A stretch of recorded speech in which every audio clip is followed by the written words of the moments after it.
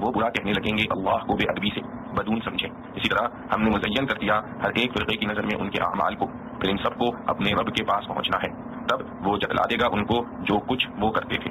اور وہ قسمیں کھاتے تھے اللہ کی تاکید سے کہ اگر آوے ان کے پاس کوئی نشانی تو ضرور اس پر ایمان لاویں گے۔ تو کہہ دے کہ نشانیاں تو اللہ کے پاس ہیں اور تم کو اے مسلمانوں، کیا خبر ہے کہ جب وہ نشانیاں آویں گی تو یہ لوگ ایمان لے ہی آویں گے؟ اور ہم الٹ دیں گے ان کے دل اور ان کی آنکھیں جیسے کہ ایمان نہیں لائے نشانیوں پر پہلی بار۔ اور ہم چھوڑے رکھیں گے ان کو ان کی سرکشی میں بہتتے ہوئے۔ اور اگر ہم اتاریں ان پر فرشتے اور باتیں کریں ان سے مردے اور زندہ کر دیں ہم ہر چیز کو ان کے سامنے، تو بھی یہ لوگ ہرگز ایمان لانے والے نہیں۔ مگر یہ کہ چاہے اللہ، لیکن ان میں اکثر جاہل ہیں۔ اور اسی طرح کر دیا ہم نے ہر نبی کے لیے دشمن، شریر آدمیوں کو اور جنوں کو، جو کہ سکھلاتے ہیں ایک دوسرے کو ملمہ کی ہوئی باتیں فریب دینے کے لیے۔ اور اگر تیرا رب چاہتا تو وہ لوگ یہ کام نہ کرتے۔ سو تو چھوڑ دے، وہ جانے اور ان کا جھوٹ۔ اور اس لیے کہ مائل ہو ان ملمہ کی باتوں کی طرف ان لوگوں کے دل جن کو یقین نہیں آخرت کا اور وہ اس کو بھی پسند کر لیں اور کیے جامع جو کچھ برے کام کر رہے ہیں۔ خلاصہ تفسیر۔ اور چنام مت دو ان معبودان باطلا کو۔ اور دشنام مت دو ان معبود باطلا کو جن کی یہ مشرق لوگ خدا کی توحید کو چھوڑ کر عبادت کرتے ہیں۔ کیونکہ تمہارے ایسا کرنے سے پھر وہ براہ جہل حد سے گزر کر یعنی غصے میں آ کر اللہ تعالیٰ کی شان میں گستاخی کریں گے۔ اور اس کا تعجب نہ کیا جائے کہ ایسی گستاخی کرنے والوں کو ساتھ کے ساتھ کیوں سزا نہیں مل جاتی؟ کیونکہ ہم نے دنیا میں تو اسی طرح جیسا ہو رہا ہے، ہر طریقے والوں کو ان کا عمل بھلا ہو یا برا ہو، مرغوب بنا رکھا ہے۔ یعنی ایسے اسباب جمع ہو جاتے ہیں کہ ہر ایک کو اپنا طریقہ پسند ہے۔ اس سے معلوم ہوا کہ یہ عالم اصل میں ابتلا و امتحان کا ہے۔ بس اس میں سزا ضرور نہیں۔ پھر البتہ اپنے وقت پر اپنے ربی کے پاس ان سب کو جانا ہے۔ سو اس وقت وہ جتلا دے گا۔ تو اس وقت وہ ان کو جتلا دے گا جو کچھ بھی وہ دنیا میں کیا کرتے تھے۔ اور مجرمین کو سزا دے دے گا۔ اور ان ان کے لوگوں نے قسموں میں بڑا زور لگا کر اللہ کی قسم کھائی کہ اگر ان کے پاس یا ان کے یعنی ہمارے پاس یعنی ان کے فرمائشی نشانوں میں سے کوئی نشان ضرور میں آ جاوے تو وہ یعنی ہم ضرور ہی اس نشان پر ایمان لے آئیں گے۔ یعنی نشان ظاہر کرنے والے کی نبوت کو مان دیں گے۔ آپ جواب میں کہہ دیجیے کہ نشان سب خدا تعالیٰ کے قبضے میں ہیں۔ وہ ان میں جس طرح چاہے تصور فرما دے، دوسرے کو دخل دینا اور فرمائش کرنا بیجا ہے۔ کیونکہ اللہ کے سوا کسی کو معلوم نہیں کہ کس کا ظاہر ہونا حکمت ہے اور کس کا ظاہر نہ ہونا حکمت ہے۔ البتہ بحث رسول کے وقت متعلق کسی نشان کو ظاہر کر دینا اس میں حکمت یقینی ہے۔ سو اللہ تعالیٰ بہت سے نشان صدق دعویٰ رسالت محمد صلی اللہ علیہ وسلم پر ظاہر فرما چکے ہیں، جو کہ دلالت کے لیے کافی ہے بس یہ ان کی فرمائش کا جواب ہو گیا۔ اور چونکہ مسلمانوں کے دل میں خیال تھا کہ خوب ہو اگر یہ نشان ظاہر ہو جائے شاید ایمان لے آویں، ان کو خطاب فرماتے ہیں کہ تم کو اس کی کیا خبر؟ بلکہ ہم کو خبر ہے کہ وہ فرمائشی نشان جس وقت ظہور میں آ جائیں گے، یہ لوگ رایت اناد سے جب بھی ایمان نہ لائیں گے اور نہ ان کے ایمان اور ان کے ایمان نہ لانے کی وجہ سے ہم بھی ان کے دلوں کو حق طلبی کے پسند سے اور ان کی نگاہوں کو حق بینی کی نظر سے پھیر دیں گے۔ اور ان کا یہ ایمان نہ لانا ایسا ہے جیسا یہ لوگ اس قرآن پر معجزہ عظیمہ ہے پہلی دفعہ جبکہ وہ آیا ایمان نہیں لائے۔ تو اب ایمان نہ لانے کو بعید مت سمجھو اور تقلیب ابسواد یعنی نگاہوں کو بیکار کرنے کا مطلب ظاہری تقلیب نہیں ہے، بلکہ مراد یہ ہے کہ ہم ان کو ان کی سرکشی و کفر میں حیران سرگردہ رہنے دیں گے۔ ایمان کی توفیق نہ ہوگی کہ یہ مانوی تکلیف ہے۔ اور ان کے انعام کی تو یہ کیفیت ہے کہ اگر ہم ایک فرمائشی نشان یا کئی کئی اور بڑے بڑے فرمائشی نشان بھی ظاہر کرتے تھے، مثلا یہ کہ ان کے پاس فرشتوں کو بھیج دیتے، جیسا وہ کہتے ہیں، لولا انزل علینا الملائکہ۔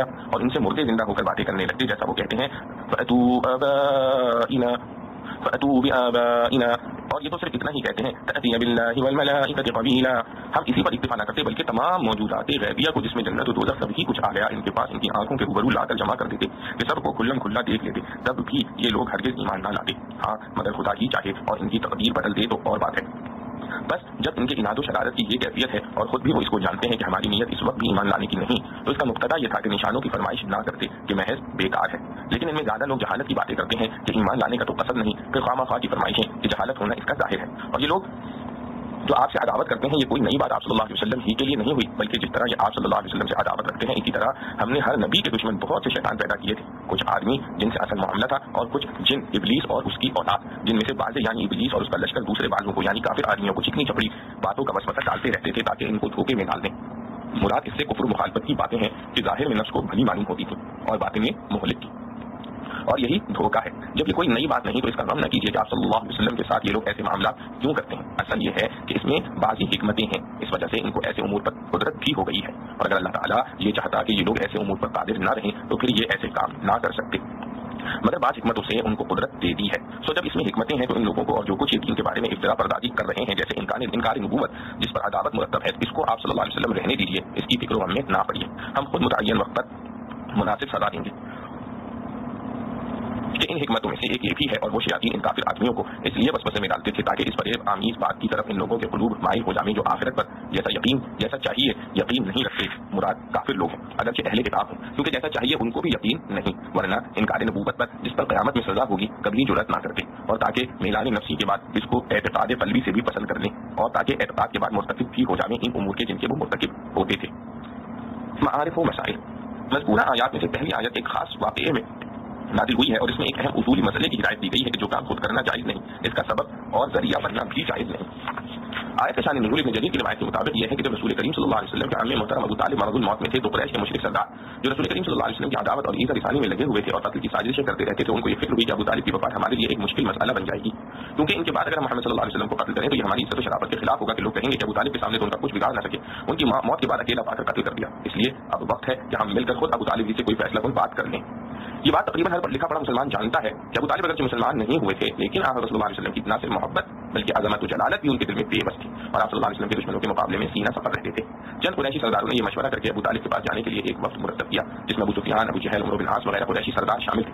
ابو طالب سے اس وقت کی ملاقات کے لیے وقت لینے کا تھا۔ ایک شخص مختلف نامی کے سپرد ہوا، اس نے ابو طالب سے اجازت لے کر اس وقت کو وہاں پہنچایا۔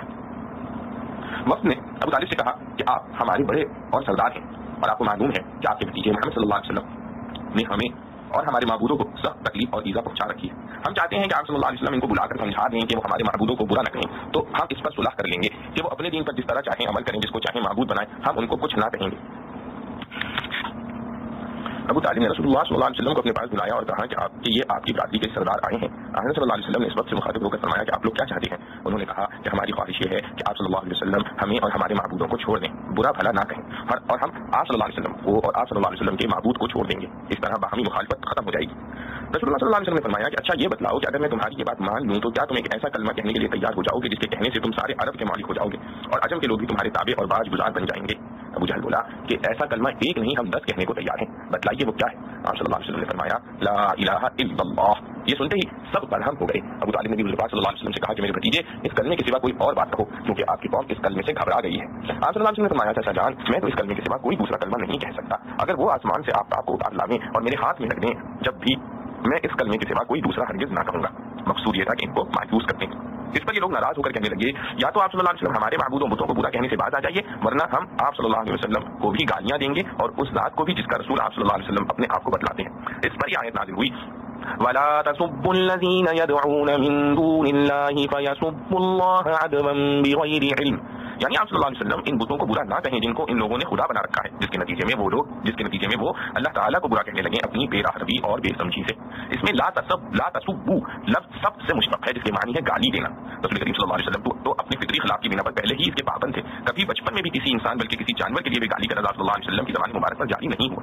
ممکن ہے بعض صحابہ کرام رضوان اللہ علیہ سے کبھی کوئی سخت کلمہ نکل بھی گیا ہو جس کو مشرقین مکہ نے گالی سے تعبیر کیا اور قریشی سرداروں کے اس وقت نبی پاک صلی اللہ علیہ وسلم کے سامنے اس معاملے کو رکھ کر یہ اعلان کر دیا کہ آپ صلی اللہ علیہ وسلم ہمارے بتوں کو سب کو ختم کرنے سے بعد نہ آئیں گے تو ہم آپ کے خدا کو سب کو ختم کریں گے۔ اس پر اس پر قرآن حکم یہ نازل ہوا جس کے ذریعے اس پر قرآن حکم یہ نازل ہوا جس کے ذریعے مسلمانوں کو روک دیا گیا کہ وہ مشرقین کے معبودات باطلہ کے متعلق کوئی سخت کلمہ نہ کہا کریں۔ اس آیت میں یہ بات خاص طور سے قابل نظر ہے کہ اس سے پہلی آیت میں خدا صلی اللہ علیہ وسلم کو خطاب ہو رہا تھا۔ مثلا ارشاد ہے، اتبع ما اوحی الیک من ربک، اور اعرض عن المشرکین، اور ما جعلناک علیہم حفیظا، اور ما انت علیہم بوکیل۔ ان تمام سیغوں میں حضرت صلی اللہ علیہ وسلم مخاطب تھے کہ آپ صلی اللہ علیہ وسلم ایسا کریں یا ایسا نہ کریں۔ اس کے بعد اس آیت میں طرز خطاب رسول کریم صلی اللہ علیہ وسلم سے پھیر کر عام مسلمانوں کی طرف کر دیا گیا۔ فرمایا، لا تسبو اس میں اشارہ اس بات کی طرف ہے کہ حضرت صلی اللہ علیہ وسلم نے تو کبھی کسی کو گالی دی ہی نہیں تھی۔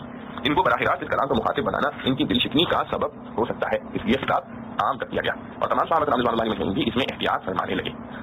رہا یہ معاملہ کہ قرآن کریم کی بہت سی آیات میں بتوں کا تذکرہ سخت الفاظ میں آیا ہے اور وہ آیات منسوخ بھی نہیں، ان کی تلاوت اب بھی ہوتی ہے۔ اس کا جواب یہ ہے کہ آیات قرآنی میں جہاں کہیں ایسے الفاظ آئے ہیں، وہ بطور مناظرہ کسی حقیقت کو واضح کرنے کے لیے وارد ہوئے ہیں۔ وہاں کسی کی دل آزادی نہ پیش نظر ہے اور نہ کوئی سمجھدار انسان ان سے یہ نتیجہ نکال سکتا ہے کہ اس میں بتوں کو برا کہنا یا مشرقین کو چلانا منظور ہے۔ اور یہ ایک ایسا کھلا ہوا فرق ہے جس کو ہر زبان کے اہل محاورہ بآسانی سمجھ سکتے ہیں کہ کبھی کسی شخص کا کوئی عیب یا برائی کسی مسئلے کی تنقید کے لیے ذکر کی جاتی ہے۔ جیسے عام طور پر عدالتوں میں ہر روز سامنے آتا رہتا ہے، لیکن عدالت کے سامنے ہونے والے بیان کو دنیا میں کوئی آدمی یہ نہیں کہتا کہ فلاں نے فلاں کو گالی دی ہے۔ اسی طرح ڈاکٹر اور حکیموں کے سامنے انسان کے بہت سے ایسے عیب بیان کیے جاتے ہیں کہ ان کو دوسری جگہ اور دوسری طرح کوئی بیان کرے گا تو گالی سمجھی جائے، لیکن مغرض علاج ان کے بیان کرنے کو کوئی گالی دینا نہیں کہتا۔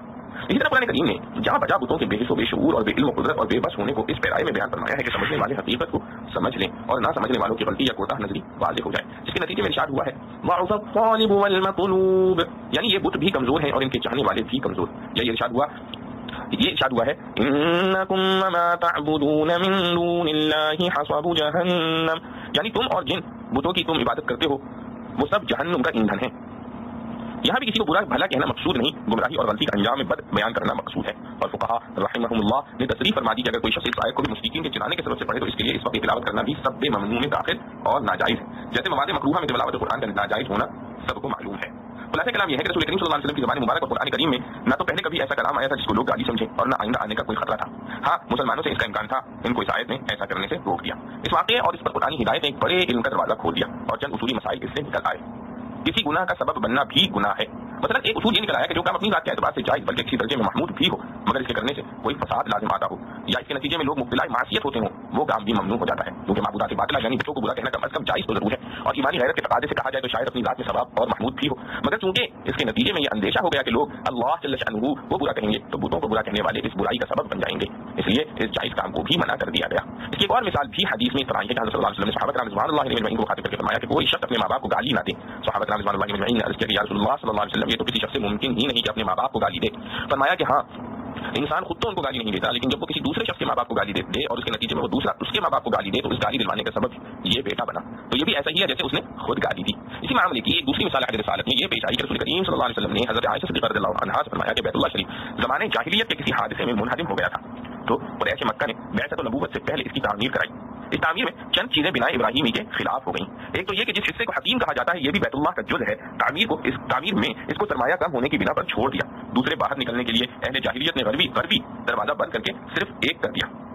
اور وہ بھی سطح زمین سے بلند کر دیا، تاکہ بیت اللہ شریف میں داخلہ صرف ان کی مرضی و اجازت سے ہو سکے۔ ہر شخص بے محابانہ جا سکے۔ ہر شخص بے محا بے محابہ نہ جا سکے۔ حضرت اللہ علیہ وسلم نے فرمایا کہ میرا دل چاہتا ہے کہ بیت اللہ کی موجودہ تعمیر کو منہدم کر کے حضرت خلی اللہ علیہ الصلوۃ والسلام کی تعمیر کے بالکل مطابق بنا دوں۔ مگر خطرہ یہ ہے کہ تمہاری قوم یعنی عرب ابھی ابھی مسلمان ہوئے ہیں۔ بیت اللہ کو منہدم کرنے سے کہیں ان کے دلوں میں کچھ شبہات نہ پیدا ہو جائیں۔ اس لیے میں نے اپنے ارادے کو ترک کر دیا۔ ظاہر ہے کہ بیت اللہ کی تعمیر کو بنا ابراہیم کے مطابق بنانا ایک طاقت اور کار ثواب تھا۔ مگر اس پر لوگوں کی نا واقفیت کے سبب ایک خطرے کا ترتب دے کر آپ صلی اللہ علیہ وسلم نے اس ارادے کو ترک فرما دیا۔ اس واقعے سے بھی یہی اصول مستفاد ہوا کہ اگر کسی جائز بلکہ ثواب کے کام پر کوئی مفصد لازم آتا ہو تو وہ جائز کام میں بھی ممنوع ہو جاتا ہے۔ لیکن اس پر ایک کبھی اشکال ہے، جس کو روح المعانی میں ابو منصور سے نقل کیا ہے، وہ یہ کہ اللہ تعالیٰ نے مسلمانوں پر جہاد و قتال لازم فرمایا ہے۔ حالانکہ قتال کا یہ لازمی نتیجہ ہے کہ مسلمان کسی غیر مسلم کو قتل کرے گا۔ مسلمان کسی غیر مسلم کو قتل کرنے کا ارادہ کرے گا تو وہ مسلمانوں کو قتل کریں گے اور مسلمان کا قتل حرام ہے۔ تو اس اصول پر جہاد بھی ممنوع ہو جانا چاہیے۔ ایسے ہی ہمارے تبلیغ اسلام اور تلاوت قرآن پر، نیز آزان اور نماز پر بہت سے کفار مذاق اڑاتے اور ملحقہ بناتے ہیں۔ تو کیا ہم ان کے اس غلط رویے کی بنا پر اپنی عبادات سے دستبردار ہو جائیں؟ ہو جائیں گے۔ اس کا جواب خود منصور نے یہ دیا ہے کہ یہ اشکال ایک ضروری شرط کے نظر انداز کر دینے سے پیدا ہو گیا ہے۔ شرط یہ ہے کہ وہ جائز کام جس کو رجوع میں مفسدہ کی وجہ سے منع کر دیا گیا ہے، اسلام کے مقاصد اور ضروری کاموں میں سے نہ ہو۔ جیسے معبودات باطلہ کو برا کہنا، اس سے اسلام کا کوئی مقصد متعلق نہیں۔ اسی طرح بیت اللہ کی تعمیر کو بنا ابراہیمی کے مطابق بنانا، اس پر بھی کوئی اسلامی مقصد موقوف نہیں۔ اس لیے جب اس پر کسی دینی مفسدے کا خطرہ لاحق ہوا تو ان کاموں کو ترک کر دیا گیا۔ اور جو کام ایسے ہیں کہ اسلام میں خود مقصور ہے یا کوئی مقصد اسلامی اس پر موقوف ہے، اگر دوسرے لوگوں کی غلط روی سے ان پر کوئی مفصلہ اور خرابی مرتب بھی ہوتی نظر آئے تو ان مقاصد کو ہرگز ترک نہ کیا جائے گا۔ بلکہ کی کوشش کی جائے گی کہ یہ کام تو اپنی جگہ جاری رہیں اور پیش آنے والے مفاصد جہاں تک ممکن ہوں بند ہو جائیں۔ یہی وجہ ہے کہ ایک مرتبہ حضرت حسن بصیر رحمۃ اللہ علیہ اور امام محمد بن سیرین رحمۃ اللہ علیہ دونوں حضرات ایک جنازے کی نماز میں شرکت کے لیے چلے۔ وہاں دیکھا کہ مردوں کے ساتھ عورتوں کا بھی اجتماع ہے۔ اس کو دیکھ کر ابن سیرین واپس ہو گئے۔ مگر حسن حضرت حسن بصیر رحمۃ اللہ علیہ نے فرمایا کہ لوگوں کی غلط روش کی وجہ سے ہم اپنے ضروری کام کیسے چھوڑ دیں؟ نماز جنازہ فرض ہے۔ اس کو مفسدہ کی وجہ سے ترک نہیں کیا جا سکتا۔ ہاں اس کی کوشش تاب مقدور کی جائے گی کہ یہ مفسدہ مٹ جائے۔ یہ واقعہ بھی روح المانی میں نقل کیا گیا ہے۔ اس لیے خلاصہ اس اصول کا جو آیت مذکورہ سے نکلا ہے، یہ ہو گیا کہ جو کام اپنی ذات میں جائز بلکہ ذات و ثواب بھی ہو، مگر مقاصد شرعیہ میں سے نہ ہو۔ اگر اس کے کرنے پر کچھ مفاسد لازم آ جائیں تو وہ کام کر دینا واجب ہو جاتا ہے۔ تو خلاف مقاصد شرعیہ کی کہ وہ لزوم مفاسد کی وجہ سے ترک نہیں کیے جا سکتے۔ اس اصول سے فقہائے امت نے ہزاروں مسائل کے احکام نکالے ہیں۔ فقہا نے فرمایا ہے کہ یہ کسی شخص کا بیٹا نافرمان ہو۔ اور میں جانتا ہوں کہ اس کو کسی کام کے کرنے کے لیے کہوں گا تو انکار کرے گا اور اس کے خلاف کرے گا، جس سے اس کا سخت گناہ گار گناہ لازم آئے گا۔ تو ایسی صورت میں باپ کو چاہیے کہ اس کو حکم کے انداز میں کسی کام کے کرنے یا چھوڑنے کو نہ کہے، بلکہ نصیحت کے انداز میں اس طرح کہے کہ فلاں کام کر لیا جائے تو بہت اچھا ہو، تاکہ انکار کے خلاف کرنے کی صورت میں ایک جدید لاپرمانی کا گناہ اس پر عائد نہ ہو جائے۔ اسی طرح کسی کو بعض نصیحت کرنے میں بھی اگر قرائن سے یہ معلوم ہو جائے کہ وہ نصیحت قبول کرنے کے بجائے کوئی ایسا غلط انداز اختیار کرے گا جس کے نتیجے میں وہ اور زیادہ گناہ میں مبتلا ہو جائے گا، تو ایسی صورت میں نصیحت کر دینا بہتر ہے۔ ایسی صورت میں نصیحت ترک کر دینا بہتر ہے۔ امام بخاری رحمۃ اللہ نے صحیح بخاری رحمۃ اللہ نے اس موضوع پر ایک مستقل باب رکھا ہے۔ یعنی بعض اوقات جائز بلکہ مستحسن چیزوں کو اس لیے چھوڑ دیا جاتا ہے کہ اس سے کم فہم عوام کو کسی غلط فہمی میں مبتلا ہو جانے کا خطرہ ہوتا ہے۔ بس یہ کہ یہ کام مقاصد اسلامیہ میں داخل نہ ہو۔ مگر جو کام مقاصد اسلامیہ میں داخل ہے خواہ فرائض و واجبات ہوں یا سنن موقع یا دوسری قسم کے شاعر اسلامی، اگر ان کے ادا کرنے سے کچھ کم فہم لوگ غلطی میں مبتلا ہونے لگے تو ان کاموں کو ہرگز نہ چھوڑا جائے گا۔ بلکہ دوسرے طریقوں سے لوگوں کی غلط فہمی اور غلط کاری کو دور کرنے کی کوشش کی جائے گی۔ ابتدائی اسلام کے واقعات شاہد ہیں کہ نماز و تلاوت اور تبلیغ اسلام کی وجہ سے مشتقین مکہ کو اشتعال ہوتا تھا۔ مگر اس کی وجہ سے ان شاعر اسلام کو کبھی ترک نہیں کیا گیا، بلکہ خود آیت مذکورہ کے شان نزول میں جو واقعہ ابو جہل وغیرہ واسا قریش کا ذکر کیا گیا ہے، اس کا حاصل یہی تھا کہ قریشی سردار اس پر صلاح کرنا چاہتے تھے کہ آپ صلی اللہ علیہ وسلم توحید کی تبلیغ کرنا چھوڑ دیں، جس کے جواب میں آپ صلی اللہ علیہ وسلم نے فرمایا کہ میں یہ کام کسی حال میں نہیں کر سکتا، اگرچہ وہ آفتاب و محتاب لا کر میرے ہاتھ پر رکھتے ہیں اس لیے اس مسئلے کی تنقید اتنا ہو گئی کہ جو کام مقاصد اسلامیہ میں داخل ہیں، اگر ان کے کرنے سے کچھ لوگ غلط فہمی یا غلط کاری کا شکار ہوتے ہیں تو ان کاموں کو ہرگز نہ چھوڑا جائے گا۔ ہاں جو کام مقاصد اسلامیہ میں داخل نہیں اور ان کے ترک کر دینے سے کوئی دینی مقصد فوت نہیں ہوتا، ایسے کاموں کو دوسروں کی غلط فہمی یا غلط کاری کے اندیشے کی وجہ سے چھوڑ دیا جائے گا۔ پچھلی آیات میں اس کا ذکر تھا کہ رسول کریم صلی اللہ علیہ وسلم کے کھلے ہوئے معجزات اور اللہ تعالیٰ کی روشن نشانیوں کے باوجود ہر دھرم لوگوں نے ان سے فائدہ نہ اٹھایا، اپنے انکار اور ضد پر جمے رہے۔ اگلی آیات میں اس کا ذکر ہے کہ لوگوں نے اپنی ضد اور ہر دھرمی کا ایک نیا روپ یہ بدلا کہ حضرت صلی اللہ علیہ وسلم سے خاص خاص قسم کے معجزات دکھلانے کا مطالبہ کیا۔ جیسا کہ اپنے جریر رحمۃ اللہ نے نقل کیا ہے کہ ایسی سرداروں نے مطالبہ کیا کہ اگر آپ صلی اللہ علیہ وسلم ہمیں یہ معجزہ دکھلانے کے کوئی سفا پورا سنا ہو جائے، تو ہم آپ صلی اللہ علیہ وسلم کی نبوت اور رسالت کو مان لیں گے اور مسلمان ہو جائیں گے۔ حضرت صلی اللہ علیہ وسلم نے فرمایا کہ اچھا معاہدہ کرو کہ اگر یہ معاہدہ ظاہر ہو گیا تو تم سب مسلمان ہو جاؤ گے۔ انہوں نے قسمیں کھا دی۔ آپ صلی اللہ علیہ وسلم اللہ تعالیٰ سے دعا کرنے کے لیے کھڑے ہو گئے کہ اس پہاڑ کو سونا بنا دیجیے حضرت جبرائیل علیہ السلام وہی لے کر آئے کہ اگر آپ صلی اللہ آپ صلی اللہ علیہ وسلم چاہیں تو ہم ابھی اس پورے پہاڑ کو سونا بنا دیں لیکن قانون الہی کے مطابق اس کا یہ نتیجہ ہوگا کہ اگر پھر بھی یہ ایمان نہ لائے تو سب پر عذاب عام نازل کر کے حالات کر دیا جائے گا۔ جیسے پچھلی قوموں میں ہمیشہ ہوتا رہا ہے کہ انہوں نے کسی خاص معاہدے کا مطالبہ کیا، وہ دکھایا گیا اور وہ پھر بھی منکر ہو گئے تو ان پر خدا تعالیٰ کا پہلو عذاب نازل ہو گیا۔ رحمۃ اللہ علیہ صلی اللہ علیہ وسلم چونکہ ان لوگوں کی عادات اور ہر گھرمی سے واقف واقف تھے بمک پرائے شبت آپ صلی اللہ علیہ وسلم نے فرمایا کہ میں کہ اب میں اس معاہدے کی دعا نہیں کرتا۔ اس واقعے پر یہ آیت نازل ہوئی۔ وَأَقْسَمُوا بِاللَّهِ جَهْدَ أَيْمَانِهِمْ۔ جس میں کفار کے قول کی نقل کی ہے کہ انہوں نے مطلوبہ معاہدہ ظاہر ہونے پر مسلمان ہو جانے کے لیے قسمیں کھا لی اس کے بعد کی آیت انما الآیات عند اللہ میں ان کے قول کا جواب ہے کہ معجزات اور نشانیاں سب اللہ تعالیٰ کے اختیار میں ہیں۔ اور جو معجزات ظاہر ہو چکے ہیں وہ بھی اسی کی طرف سے تھے۔ اور جن کا مطالبہ کیا جا رہا ہے، ان پر بھی وہ پوری طرح قادر ہے۔ لیکن اگر عقل و انصاف ان کو ایسا مطالبہ کرنے کا کوئی حق نہیں۔ کیونکہ رسول کریم صلی اللہ علیہ وسلم اللہ کے رسول ہونے کے مدعی ہیں۔ اور اس دعوے پر بہت سے دلائل اور شہادتیں معجزات کی صورت میں پیش فرما چکے ہیں۔ اب دوسرے فریق کو تو اس کا اس کا تو حق ہے کہ ان دلائل اور شہادتوں پر جراح کرے، ان کو غلط ثابت کرے، لیکن ان پیش کردہ شہادتوں میں کوئی جراح نہ کرے۔ لیکن ان پیش کردہ شہادتوں میں کوئی جراح نہ کریں اور پھر یہ مطالبہ کریں کہ ہم تو دوسری شہادتیں چاہتے ہیں۔ یہ ایسا ہوگا جیسا عدالت میں کوئی مدعا علیہ مدعی کے پیش کردہ گواہوں پر تو کوئی جراح نہ کرے۔ مگر یہ کہے، میں تو ان گواہوں کی شہادت نہیں مانتا، بلکہ فلاں معین شخص کی گواہی پر بات مانوں گا۔ اس کو کوئی عدالت قابل سماعت نہ سمجھے گی۔ اسی طرح نبوت اور رسالت پر بے شمار آیات، بینات اور معجزات ظاہر ہو جانے کے بعد جب تک ان معجزات کو غلط ثابت نہ کریں، ان کو یہ کہنے کا حق نہیں کہ ہم تو فلاں قسم کا معجزہ دیکھیں گے، جب ایمان لائیں گے۔ اس کے بعد آخر آیات تک مسلمانوں کو فہمائش اور خطاب ہے کہ تمہارا کام دین حق پر خود قائم رہنا اور دوسروں کو صحیح طریقے سے پہنچا دینا ہے۔ پھر بھی اگر وہ ہر درمی کرنے لگے تو ان کی فکر میں پڑنا نہیں چاہیے، کیونکہ زبردستی کسی کو مسلمان بنانا نہیں۔ اگر زبردستی بنانا ہوتا تو اللہ تعالیٰ سے زیادہ زبردست کون ہے؟ وہ خود ہی سب کو مسلمان بنا دیتے اور ان آیات میں مسلمانوں کو مطمئن کرنے کے لیے یہ بھی بتلا دیا گیا کہ اگر ہم ان کے مانگے ہوئے معجزات کو بھی بالکل کھلے اور واضح طور پر ظاہر کر دیں، یہ جب بھی ایمان نہ لائیں گے۔ کیونکہ ان کا انکار کسی غلط فہمی یا ناواقفیت کی وجہ سے نہیں، بلکہ ضد اور انعد اور حق دھرمی سے ہے، جس کا علاج کسی معجزے سے نہیں ہوا کرتا۔ آخری آیت، ولو اننا نزلنا الیہم الملائکہ میں اسی مضمون کا بیان ہے کہ اگر ہم ان کو، ان کے فرمائشی معجزات سب دکھلا دیں، بلکہ ان سے بھی زیادہ فرشتوں سے، ان کی ملاقات اور مردوں سے گفتگو کرا دیں، جب بھی وہ ماننے والے نہیں۔ بات کی تو آیتوں میں حضرت اللہ تعالیٰ علیہ وسلم کو تسلی دی گئی ہے کہ یہ لوگ اگر آپ صلی اللہ علیہ وسلم سے عداوت کرتے ہیں تو کچھ تعجب کی بات نہیں، پچھلے تمام انبیاء کے بھی دشمن ہوتے چلے آئے ہیں۔ آپ صلی اللہ علیہ وسلم اس سے دلگیر نہ ہوں۔ أفغير الله يبتغي حكما وهو الذي أنزل إليكم الكتاب مفصلا والذين آتيناهم الكتاب يعلمون أنه منزل من ربك بالحق فلا تكونن من الممترين. وتمت كلمة ربك صدقا وعدلا. لا مبتل لكلماته وهو السميع العليم.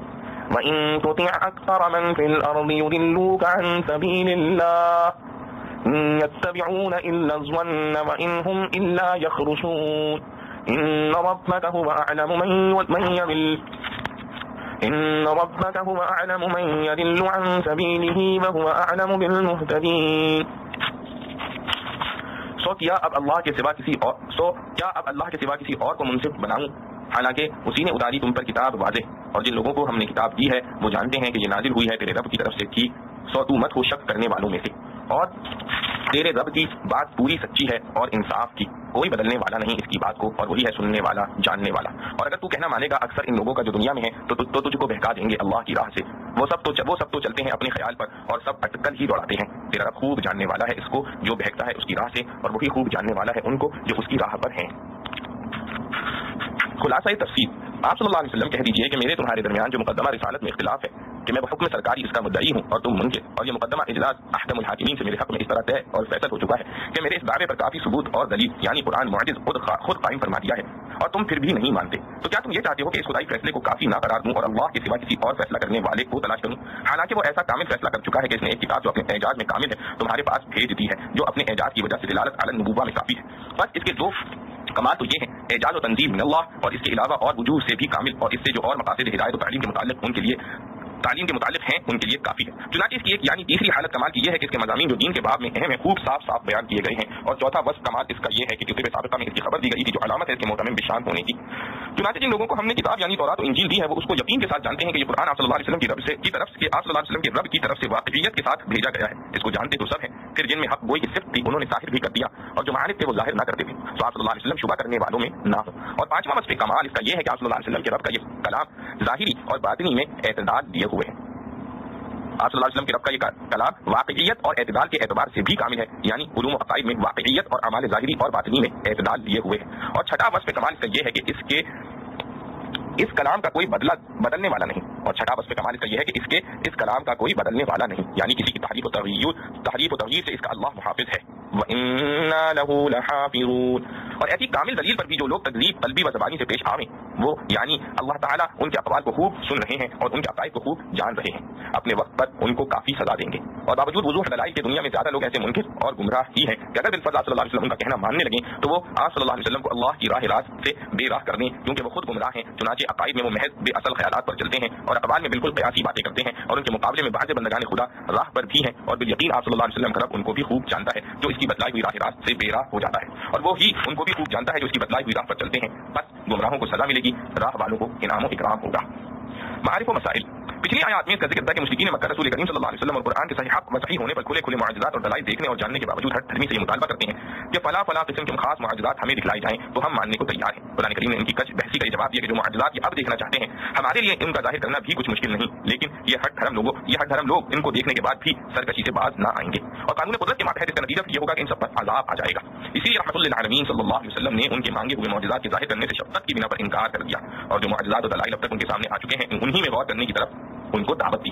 مذکورہ آیات میں ان دلائل کا بیان ہے جس سے بدیہی طور پر قرآن کریم کا حق اور کلام الہی ہونا ثابت ہے۔ پہلی آیت میں جو ارشاد فرمایا، اس کا حاصل یہ ہے کہ میرے اور تمہارے درمیان مقدمہ رسالت نبوت میں اختلاف ہے۔ میں اس کا مدعی ہوں اور تم منکر۔ اور یہ مقدمہ احکم الحاکمین کے اجلاس سے میرے حق میں اس طرح طے اور فیصل ہو چکا ہے کہ میرے اس دعوے پر کافی ثبوت اور دلیل خود قرآن کا اعجاز ہے۔ جس نے تمام اقوام عالم کو چیلنج کیا کہ اگر اس کے کلام الہی ہونے میں کسی کو شبہ ہے تو اس کلام کی ایک چھوٹی سی صورت یا آیت کا مقابلہ کر کے دکھلاؤ، جس کے جواب میں تمام عرب عاجز رہا۔ اور وہ لوگ جو حضرت صلی اللہ علیہ وسلم اسلام کو پست کرنے کے لیے اپنی جان مان اور اولاد آبرو سب کچھ قربان کر رہے تھے تھے۔ ان میں سے ایک بھی ایسا نہ نکلا کہ قرآن کے مقابلے کے لیے ایک دو آیت بنا کر پیش کر دیتا۔ یہ کھلا ہوا معجزہ کیا قبول حق کے لیے کافی نہ تھا کہ ایک امی جس نے کہیں کسی سے تعلیم نہیں پائی اس کے پیش کیے ہوئے کلام کے مقابلے سے پورا عرب بلکہ پورا جہاں عاجز ہو جائے۔ یہ حقیقت احکم الحاکمین کی عدالت اس مقدمے کا واضح فیصلہ ہے کہ رسول کریم صلی اللہ علیہ وسلم اللہ کے رسول پر حق اور قرآن اللہ جل شانہ کا کلام ہے۔ پہلی آیت میں اسی کے متعلق فرمایا غیر اللہ یبتغی حکما یعنی کیا تم یہ چاہتے ہو کہ اللہ تعالیٰ کے اس فیصلے کے بعد میں کسی اس اللہ تعالیٰ کے اس فیصلے کے بعد میں کسی اور فیصلہ کرنے والے کو تلاش کروں؟ یہ نہیں ہو سکتا۔ اس کے بعد قرآن کریم کی چند ایسی خصوصیات کا ذکر کیا گیا ہے جو خود قرآن کریم کے حق اور کلام الہی ہونے کا ثبوت ہے۔ مثلا فرمایا،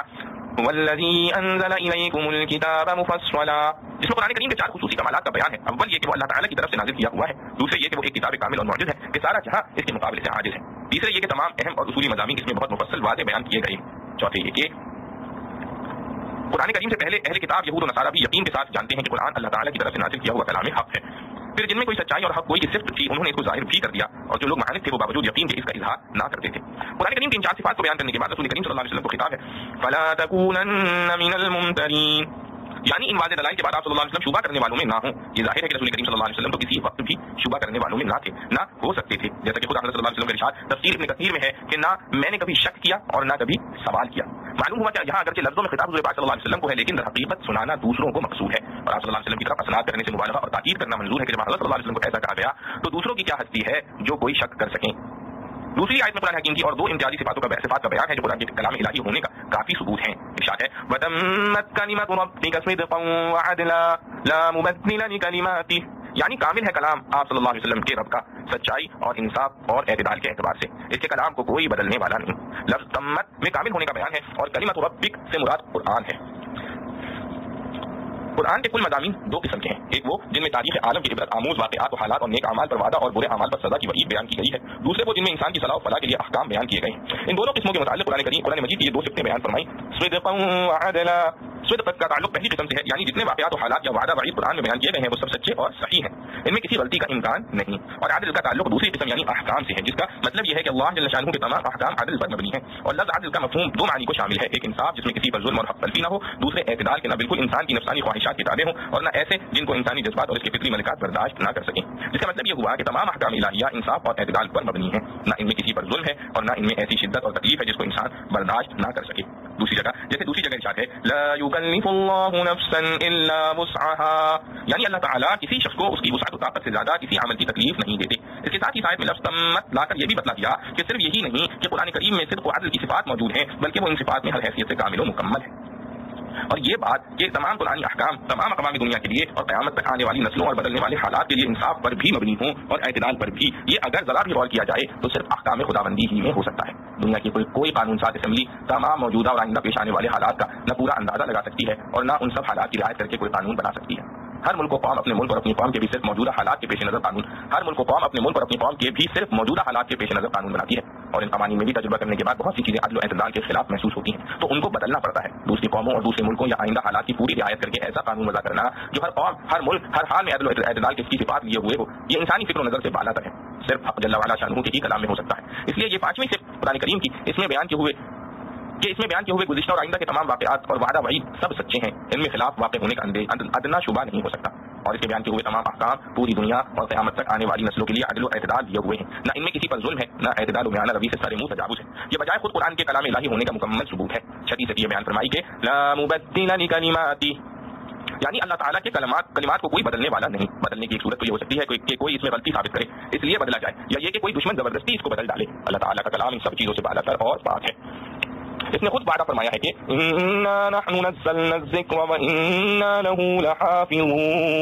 یعنی ہم نے یہ قرآن کو نازل کیا ہے اور ہم ہی اس کے محافظ ہیں۔ پھر اس کی مجال ہے کہ خدا کی حفاظت کو توڑ کر اس میں کوئی تغیر تبدل کر سکے۔ چنانچہ چودہ سو برس اس پر گزر چکے ہیں اور ہر قرن ہر زمانے میں قرآن کے مخالف اس کے ماننے والوں کی نسبت تعداد میں بھی زیادہ رہے ہیں، قوت میں بھی۔ مگر کسی کی مجال نہیں ہو سکی کہ قرآن کے ایک زبر زیر میں فرق پیدا کر سکے۔ ہاں بدلنے کی تیسری صورت یہ بھی ہو سکتی تھی کہ خود تعالیٰ کی طرف سے اس کو منسوخ کر کے بدل دیا جائے۔ اس لیے حضرت عبداللہ بن عباس رضی اللہ عنہ نے فرمایا کہ آیت میں اس کی طرف اشارہ ہے کہ نبی کریم صلی اللہ علیہ وسلم آخری پیغمبر اور قرآن آخری کتاب ہے۔ اس کے بعد نسخ کا کوئی احتمال نہیں۔ جیسا کہ قرآن کریم کی دوسری آیات میں یہ مضمون اور بھی زیادہ وضاحت کے ساتھ آیا ہے۔ آخر آیت میں فرمایا وہ یعنی اللہ جل شانہ اس تمام گفتگو کو سنتے ہیں جو یہ لوگ کر رہے ہیں۔ اور سب کے حالات اور اسرار سے واقف ہیں۔ ہر ایک کے عمل کا بدلہ اس کے مطابق دیں گے۔